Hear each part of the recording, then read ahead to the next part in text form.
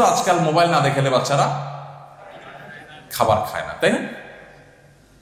আমরা মোবাইলের কাছে এইভাবে বন্দী হয়ে গেছি যে আমরা মনে করি বাচ্চা খাবার খাবে না মোবাইল না দেখলে। আমি আমার অভিজ্ঞতা যদি আপনাদেরকে শেয়ার করি, আমরা আমাদের বাসায় বাচ্চাদেরকে মোবাইল দেখা একখানা খাওয়াই না।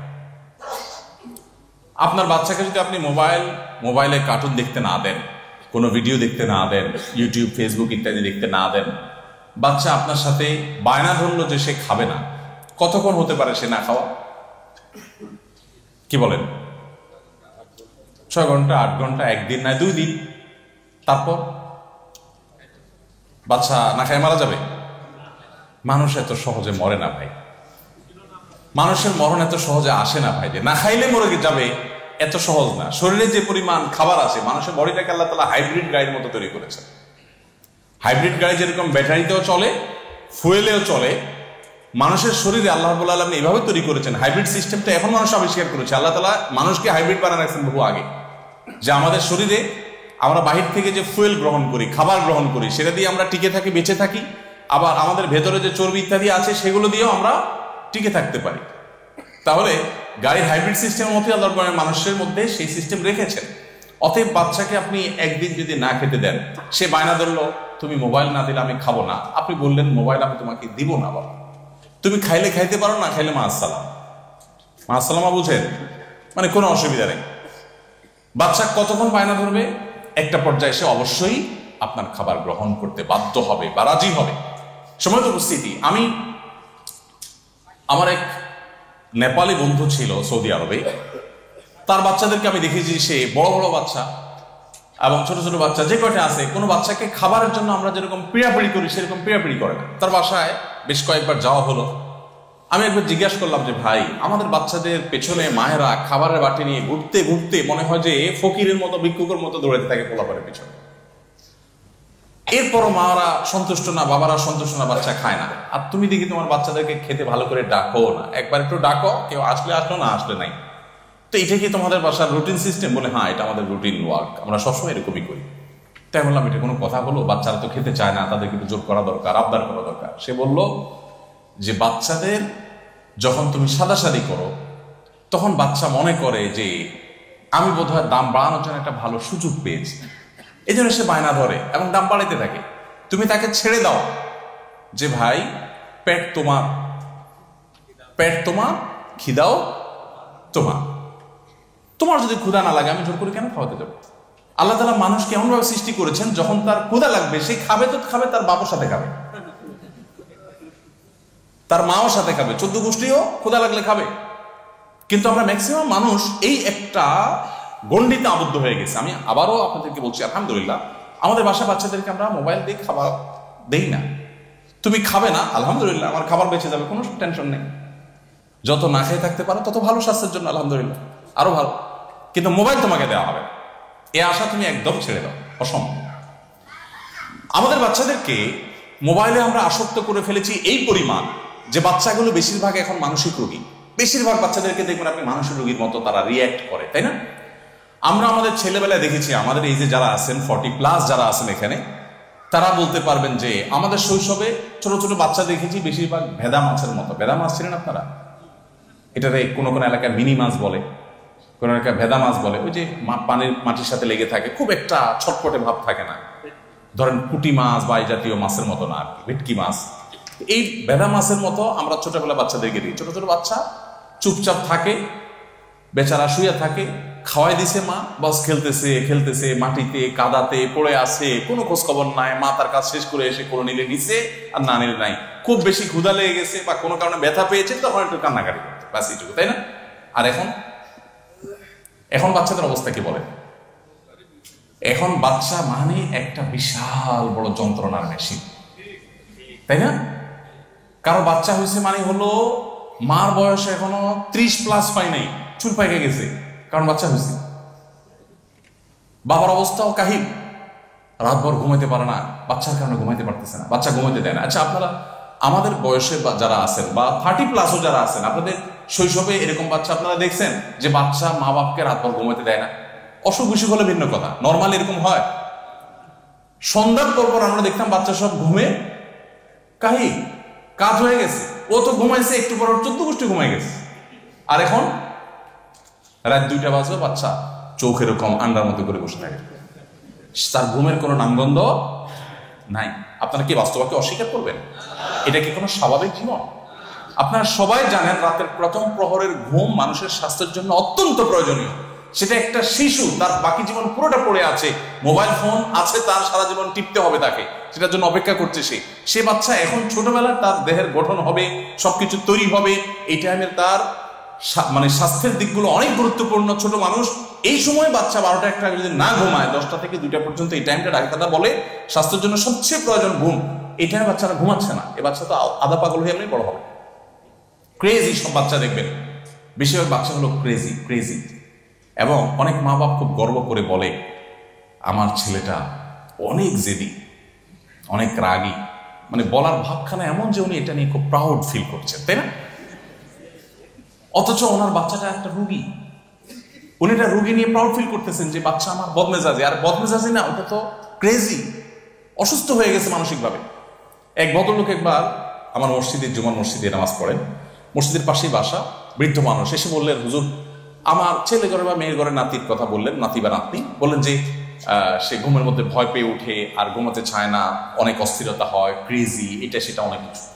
তো আমি বললাম, মোবাইল টোবাইল দেখে? হ্যাঁ মোবাইল দেখে মানে এটা ছাড়া কোনো বাচ্চা আছে? তো আমি বললাম, এই মোবাইল ফোন একদম টোটাল স্টপ করে আপনি এক, দুই মাস একটু তাকে লালন পালন করার চেষ্টা করেন। তো বলে, হুজুর, কাজটা অনেক কঠিন, কিন্তু ট্রাই করি, দেখি। তাই বললাম দেখেন, এটা ট্রাই করলে শুরুতে শুরুতে মনে হবে বাচ্চা বোধহয় যায় যায় অবস্থা। যখন মোবাইল বন্ধ করে দিবেন, বাচ্চা কি হবে? যা যায় অবস্থা। আপনি টেনশন নিয়েন না। আপনি বাচ্চাকে বলেন, যেতে যেতে চাইলে যাও আপনি চুপচাপ থাকেন। যাওয়া এত সহজ না। যাওয়া এত সহজ না, একটু সবর করবেন।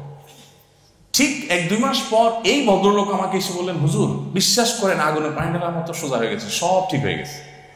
সে এখন টাইমলি ঘুমা এখন আগের মতো রিয়েক্ট করে না, কিছু না। বললাম, শুনেন মোবাইলের মধ্যে বাচ্চারা আমাদের কি দেখে সাধারণত? সাধারণত গেমস এবং কার্টুনগুলো দেখে, তাই না?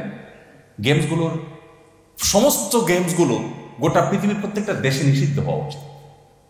কিন্তু পৃথিবীর বড় বড় বাণিজ্যিক সন্ত্রাসীদের কারণে এগুলো নিষিদ্ধ হয় না, হতে পারে না। এগুলো তাদের ব্যবসার কারণে তারা টিকায় রাখে এবং আমাদের প্রজন্মকে তারা পঙ্গু করে তুলছে। আপনি মুসলমানের সন্তান, আপনি অন্য দশজনের মতো না। আপনার লাইফটা এত মূল্যহীন না। আপনার বিশ্বাস আছে যে আপনাকে আল্লাহ কাছে জব করতে হবে? আপনার শিশুকে আপনি ধ্বংসের মুখে ঠেলে দিচ্ছেন এই মোবাইল ফোন তার হাতে তুলে দিয়ে। তাকে মোবাইল ফোনের দিকে চেয়ে থেকে তার ছোট কচি যে চোখ, এই চোখকে আপনি ধ্বংস করছেন। তার ব্রেনকে আপনি ধ্বংস করছেন। তার মেধাকে আপনি ধ্বংস করছেন।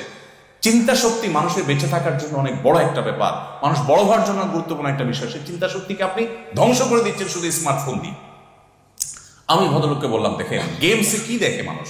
বাচ্চারা সাধারণত গেমসগুলোতে কি দেখে বলেন? ফাইটিং ছাড়ার কিছু আছে? সমস্ত গেমসগুলোর মূল জিনিস একটাই, সেটা কি? ফাইট এই ফাইটের মধ্যে সে কি দেখে? যে শত্রু এবং তাকে মেরে ফেলো, তুমি সামনে যেতে থাকো। একটার পর একটা শত্রু শেষ করো, সামনে যেতে থাকো। এই জিনিসটা করতে করতে করতে করতে মেন্টালি সে তৈরি হয় এভাবে যে আমাকে এই সারাক্ষণ শুধু লড়াই, মারামারি, কাটাকাটি এগুলোতে থাকতে হবে।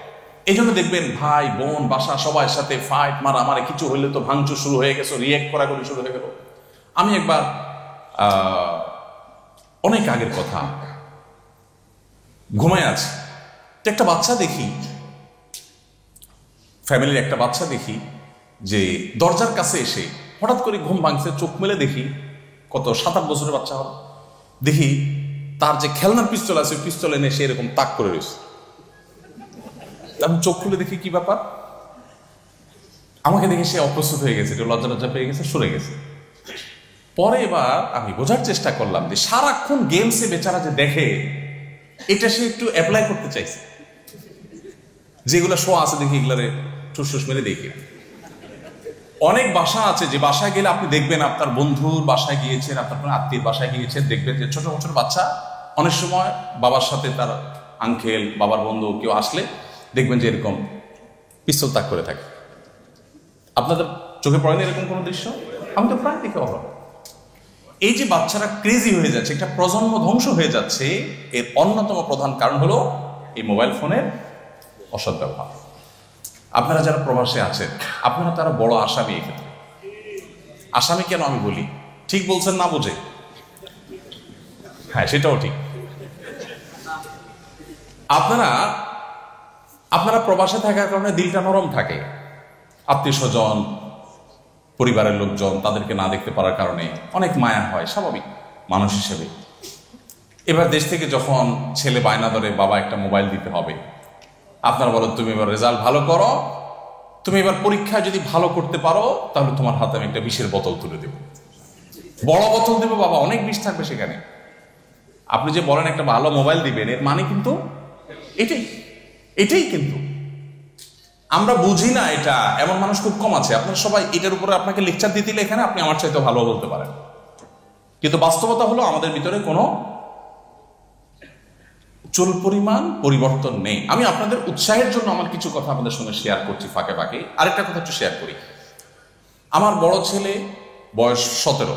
আজও পর্যন্ত তার কোনো ফোনও নাই, তার সাথে কোনো সিম কার্ডও নেই। সে প্রতিদিন পড়তে যায়, মাদ্রাসা যায় কোনো ওস্তাদের কাছে টিচারের কাছে পড়তে যায় কোচিংয়ে যায়, বাইরে সে পড়তে যায়। প্রতিদিন তাকে বাইরে যেতে হয়। আমি সকালে খবর নিয়েছি, আজকেও গিয়েছে সে। তার মাকে ফোন দিয়েছি হ্যাঁ সে পড়তে গিয়েছে। তো পড়তে যায় যে তার সাথে কিন্তু মোবাইল নেই। এখন ঢাকায় যদি একটা বাচ্চা থাকে, সতেরো বছর বয়স, পড়তে গেছে। অনেকে বলতে পারেন যে, ভাই, এটা কোনো কথা মোবাইল দেন না। কোথায় একটা বিপদ হতে পারে, তখন সে কি করবে? তেমন মোবাইল যে যুগে ছিল না, তখন বাচ্চারা বাইরে যেত না। তখন বিপদ হলে কি করতো? তখন তো আরেক জায়গার থেকে কোনো দোকান থেকে ঢুকে বাপরে ফোন দিবে, সে সুযোগও ছিল না। এখন তো সে অপশন আছে। ছেলে বিপদে পড়লে কোন একটা দোকানে যায় ফোন দিবে, আব্বু, আমি বিপদে পড়ছি, মা, আমি বিপদে পড়ছি। আমি মোবাইল দিলে অনেক সুবিধা হবে বাচ্চা, ঠিক আছে? অনেক সুবিধা হবে। কিন্তু অনেক অসুবিধাও হবে। সুবিধা যা হবে, অসুবিধা তার চাইতে অনেক বেশি হবে। ভাইরা আমার, আমাদের বাচ্চারা তারা মানতে চায় না, কারণ আশপাশে দেখে সব বাচ্চাগুলো এরকম মোবাইলের এডিকশনে এটার নেশায় তারা আসক্ত হয়ে আছে, যার কারণে আমরা তাদেরকে এখান থেকে বেরিয়ে বের করে আনতে পারি না। কিন্তু ভাইরা আমার, আমি, আমার ছেলেকে আমি বলেছি, দেখো, তুমি হয়তো আশপাশে বন্ধু বান্ধবদের দেখে চিন্তা করবা যে সবারই ফেসবুক আছে মোবাইল আছে, আমার বাপটা এত ডাকাতের মতো আচরণ করে। তোমাকে আমি নিশ্চিন্ত রাখি, তোমাকে আমি মোবাইল দেবো বাবা। শুধু মোবাইল দেবো না mobile SIM net data full করে দেবো ইনশাল্লাহ তবে যেদিন বৌমা তুলে দিব হাতে, সাথে মোবাইল দিয়ে দেবো ইনশাল্লাহ এখন মোবাইল দিলে তুমি কার সাথে কথা বলবা? তোমার কথা বলার জায়গাই তো নেই। আমাদের সাথে তুমি ডাইরেক্ট কথা বলবা। বইয়ের সাথে মেসেজ দিতে তোমার মোবাইল দরকার হবে। অতএব তোমাকে একই সঙ্গে দুইটা জিনিস আমি দিয়ে দেব। আর তার আগ পর্যন্ত তুমি একটু সবর করো, ধৈর্য ধারণ করো। আপনাদের কাছে আমার উদাত্ত আহ্বান যে আমাদের সন্তানদেরকে আসুন এই ধ্বংসের হাত থেকে বাঁচাবার প্রতিজ্ঞা করি। চেষ্টা করা যাবে না ইনশাল্লাহ এটার জন্য স্বামী স্ত্রী নিজেরা আগে বোঝাপড়া করতে হবে যে এটাতে আমাদের লাভ কি ক্ষতি কতটুকু। লাভ তো আছে। মোবাইলের অনেক সুফল আছে। কিন্তু আমার বাচ্চার জন্য এর সুফলের পরিমাণ বেশি হবে নাকি কুফলের পরিমাণ বেশি হবে এটা আমাকে যোগ বিয়োগ করতে হবে। এবং শুধু বাচ্চাদের জন্য না, আপনাদের জন্য প্রযোজ্য। অনেক অভিভাবক আছে, বাচ্চাদেরকে মোবাইল থেকে বাঁচাতে চায়। তার আকুতি আছে, তার নিয়ত ভালো আছে, বোঝা যায়। যেমন বাচ্চাকে বলে, এই, মোবাইল টিপাটিপি করিও না, বই নিয়ে বসো। এইটা তো সব গার্ডিয়ানেরই বলি, তাই না? মাও এটা বলে বাবু এটা বলে, তাই না? এই কথা যখন বলতেছে বাপে, তখনও তার হাতে কি? মা যখন বাচ্চাকে বলছে এই, মোবাইল রাখো, পড়তে বসো, তখনও তার মার হাতে কি? হয় মোবাইল না রিমোট? তাই না? বাচ্চাদের নেচার কি জানেন? বাচ্চা না শুধু। মানুষের প্রকৃতি, মানুষের নেচার হলো মানুষ যা শুনে শিখে, তার চাইতে দেখে শিখে বেশি। আপনি সারাদিন তাকে বলেন মিথ্যা বলা মহাপাপ, মিথ্যা বলা মহাপাপ, আর সকাল বিকাল আপনি মিথ্যা বলেন। তখন বাচ্চা মনে করে, আরে ওইটা কথার কথা। আসল হলো এটা, আসল রিয়েল লাইফ এটা। অতএব এটার মধ্যেই জগতের সকল শান্তি লুকাইতে আছে। নাহলে আমার বাপ মা সারাদিন এই মিথ্যা কথা বলে। বাচ্চারা বলবেন, ঝগড়া করবেন না। আর আপনার নিজেরা সারাদিন কামড়া কামড়ি করবেন। বাচ্চা দেখে শিখবে যে, আরে কামড়া কামড়ি লাইফ সে আপনার অগোচরে চুরি করে মোবাইল টিপবে। কারণ সে দেখছে যে মা আমাকে নিষেধ করতেছে, মা তো মোবাইল ছাড়তেছে না। তাহলে যেই শান্তিতে মা হাবুডুবু খাচ্ছে, ষড়যন্ত্র করে আমাকে সেখান থেকে বঞ্চিত রাখার অপচেষ্টায় লিপ্ত মা। তাই না? আমার বাচ্চা, আমার বাবা যে মোবাইল টিপে যে সুখের সাগরে ভাসতেছে, আমাকে সেই সুখ থেকে বঞ্চিত রাখার অপচেষ্টায় লিপ্ত আমার বাবা এই জন্য সে চুরি করে হলো মোবাইল টিপতে যায়। ভাইয়ের আমার বাচ্চাদেরকে মানুষ করবার প্রয়োজনে আমাদের নিজেদের নিয়ন্ত্রণ করা দরকার। আল্লাহ তালা আমাদেরকে সেই তৌফিক দান করুন। এখন আসা যাক, আমরা স্মার্টফোন ব্যবহার করতে হয়, আমাদের ব্যবসা বাণিজ্য, আমাদের কাজ কাম চাকরি বাকরি এগুলোর জন্য অনেক সময় দাওয়াতি কাজের জন্য এগুলো ব্যবহার করতে হয়। কিন্তু সেগুলোর ব্যবহার করতে গিয়ে যাতে নিয়ন্ত্রণহীন হয়ে না যায় তার জন্য আমাদের একটা সুনির্দিষ্ট পরামর্শ আছে। সেটি হলো, প্রথমত আপনি নির্দিষ্ট একটা সময়ে মোবাইল ধরবেন, টিপবেন। ধরা যাক, প্রতিদিন তিনবার, সকালে একবার, দুপুরে একবার, রাতে একবার। আপনি বিশ মিনিট বা আধা ঘণ্টা করে সময় দিবেন। আমি এর মধ্যে ফেসবুক দেখা লাগলে দেখলাম ইউটিউব দেখা লাগলে দেখলাম, শেখা লাগলে শিখলাম, অথবা কারোর কোনো মেসেজ রিপ্লাই দেওয়া লাগে দিলাম, আমি এই সময়ের মধ্যে করব। এই টাইমটা ফিক্স করে ফেলতে পারলে আপনি দেখবেন আপনার সময় অনেক বরকত হয়ে গেছে। আবার এর পাশাপাশি আপনার মনে হবে যে না আমার তো হঠাৎ করে একটা জরুরি বিষয় মনে হয়েছে, মোবাইলে অমুককে এস এম এস দেওয়া দরকার, অমুককে কল করা দরকার, অমুককে রিপ্লাই করা দরকার, মনে হবে। এগুলো মেনটেন করার জন্য আমি যেটা করি, আপনাদের সাথে শেয়ার করতে পারি, আমার কাছে সবসময় অলওয়েজ একটা নোট থাকে। একটা নোট বুক থাকে অথবা একটা কাগজ থাকে। এখানে আমি সবসময় নোট রাখি। হঠাৎ করে মনে হলো, অমুক ভাইকে একটু যোগাযোগ করা দরকার, তিনি অসুস্থ, তো তার নামটা লেখা রাখি। অমুকে হয়তো আমাকে মেসেজ দিয়ে রেখেছেন অনেক আগে রিপ্লাই করা হয়নি, তার নামটা লিখে রাখে। আমি এখন মোবাইল ধরবো না, আমি শুধু লিখব। আট দশটা, বিশটা পয়েন্ট হয়ে গেছে। আমার মোবাইল টিপার সময় দুপুরে বারোটা থেকে সাড়ে বারোটা।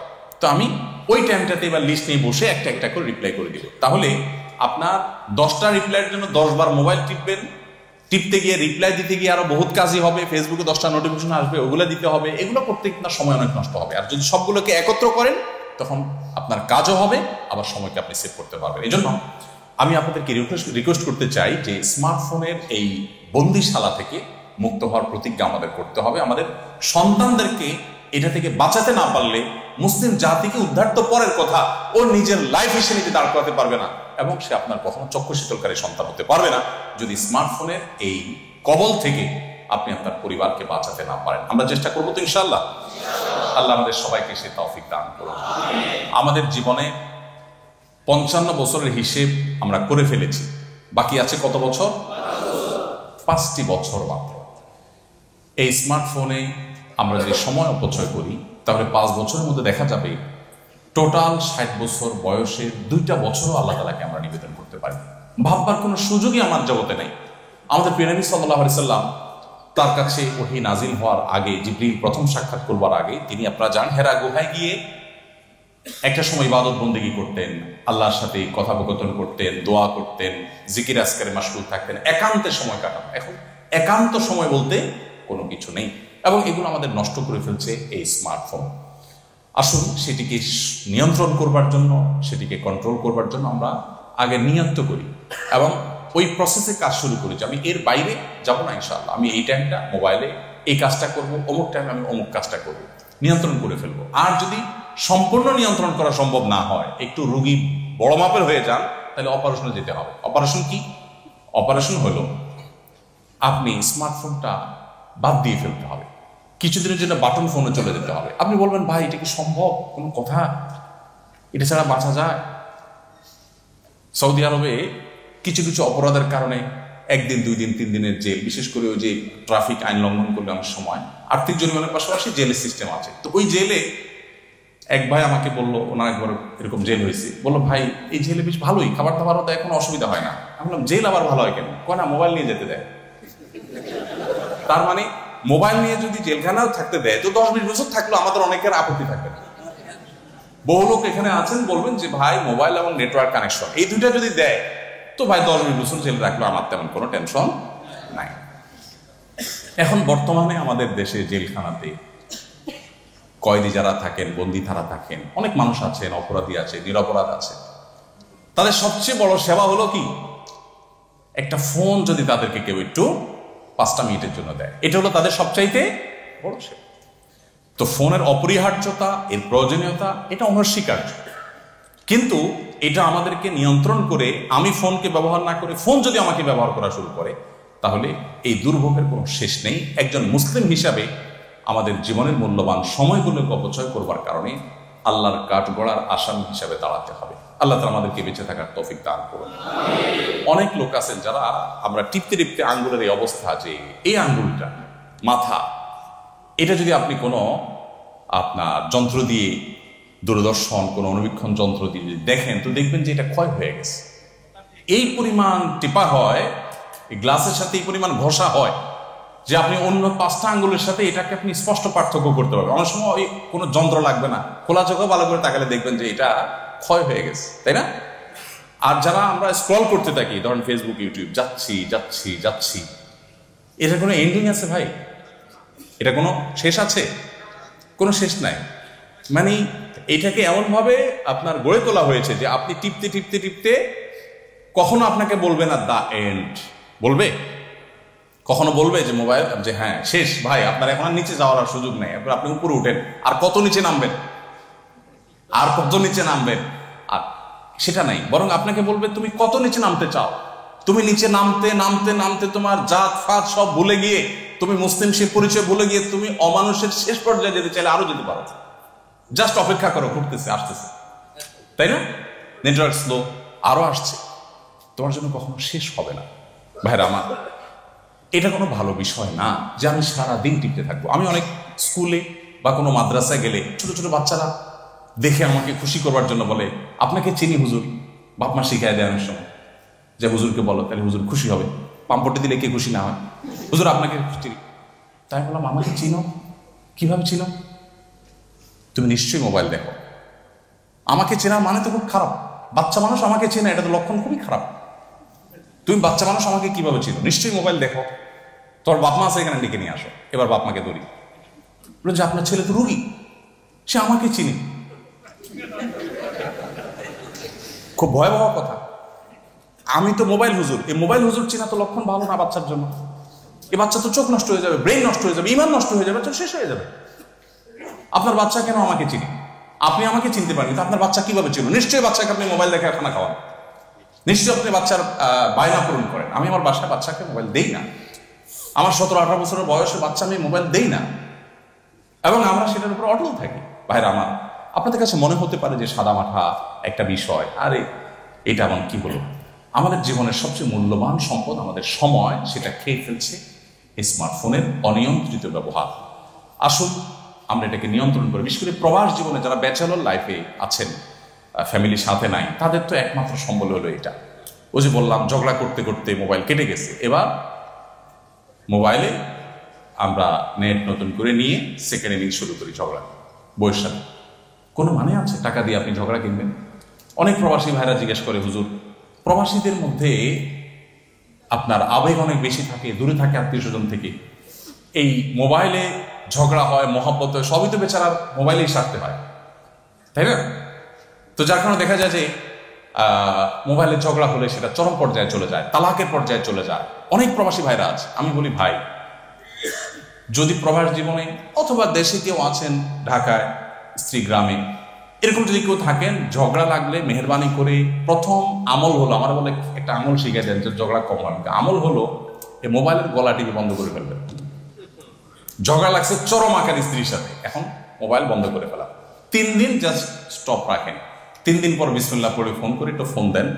দেখবেন আপনার আগের রাগের মিটার নামতে নামতে একদম অলমোস্ট জিরোর কাছাকাছি চলে আসছে। এখন আর দেখবেন কোনো ভয় নাই। আর ওই পক্ষেও যদি অনেক চেতে টেতে থাকে, তিন দিন পর দেখবেন যে রাগের মিটার অনেক নর্মালে চলে আসছে। আর আমরা কি করি? না না ঝগড়া যদি এখন হচ্ছে এখন বিহিত করে ছাড়তে হবে। এবার ছাড়তে ছাড়তে ওইটা ধ্বংস করে ছেড়ে দেয়। আল্লাহ আমাদেরকে সময়ের গুরুত্ব বোঝার তৌফিক দান করুন। আমাদেরকে আল্লাহ রব্বুল আলমিন সময়ের অপচয় থেকে বেঁচে থাকার তৌফিক দান করুন। মুসলমান হিসাবে সময়ের মূল্য দেওয়া ছাড়া আমরা কোনো অবস্থাতেই দুনিয়া এবং আখরাতে কোনো প্রকার সফলতা অর্জন করতে পারব না। আজকের এই মসজিদ থেকে মোবাইলকে নিয়ন্ত্রণ করবেন, এরকম যারা নিয়ত করেছেন এবং কথাগুলো যারা বুঝতে পেরেছেন, মেহরবানি করে তারা একটু হাত তুলে দেখান। আল্লাহ তালা আমাদের হাতগুলোকে কবুল করে নিন। আমাদের সংকল্পকে আল্লাহ সুমাতালা বাস্তবায়ন করার তৌফিক দান করুন। আমরা সবাই চেষ্টা করব স্মার্টফোনের ব্যবহার এটাকে নিয়ন্ত্রণ করবার জন্য। আমি যেটা আপনাদেরকে বলেছি যে, আমাকে দেখে আপনারা মনে করেন এই বেটা যেহেতু মোবাইল হুজুর, সারাদিন বোধহয় মোবাইল নিয়েই পড়ে থাকে। সেই আমি কিন্তু মোবাইলকে নিয়ন্ত্রণ করার চেষ্টা করি এবং আলহামদুলিল্লাহ কার্যকর আমল আমি বেশ আগে থেকে শুরু করে দিয়েছি। নির্দিষ্ট সময়ের পর পৃথিবীর কোনো মানুষ আমাকে আর ফোনে পাবে না। ব্যাস, অফিস টাইম শেষ, বাসায় ঢোকার আগে আমি হয় মোবাইল এরোপ্লেন মোড করে ফেলি আর নয় সুইচ অফ ব্যাস, এটা ফ্যামিলি টাইম এটা আমার ইবাদতের টাইম সারাদিন আমি মোবাইলে থাকব সারাদিন কাজ করব পার্সোনাল টাইম কখন? আমরা সেই জায়গায় যাওয়ার চেষ্টা করব। আল্লাহ